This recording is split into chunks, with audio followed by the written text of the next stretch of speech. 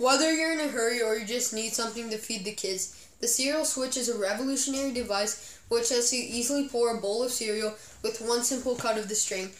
The cereal switch uses the help of simple machines to function and get your breakfast ready. Machines like a pulley or even as simple as a ramp are used in this machine, so you could technically call it a compound machine. Yes, this switch can be very useful at times. The cereal switch will go for $35 plus shipping and handling at your nearest retail store. This product is very useful because it pours a bowl of cereal less than a minute and with barely any force. Here's a quick picture of the cereal switch.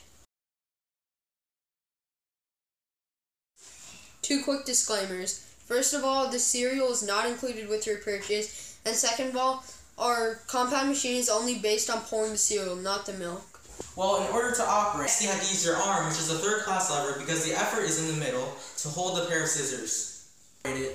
You have to use these here, these pair of scissors here, which is a first class lever in this case. To cut this string, the string goes into a pulley, and then the into the rolling object. The rolling object finally hits the first domino.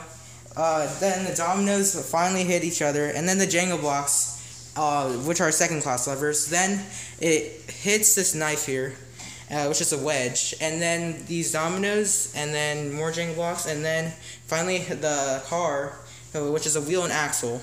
And then the car rolls down these two pizza boxes, and it's also paper towel roll which is uh, an incline plane. Then it finally rolls down into this funnel.